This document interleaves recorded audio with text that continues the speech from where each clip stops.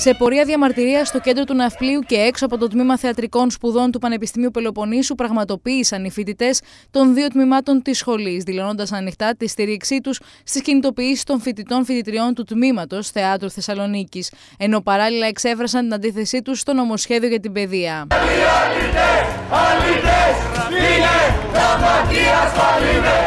Οι φοιτητές διεκδικούν την απόσυρση του νομοσχεδίου για την παιδεία, χρήματα σε υγεία και παιδεία, δωρεάν σπουδές, σύντηση και στέγαση για τους φοιτητές. Πανεπιστήμια ανήκουν στο λαό.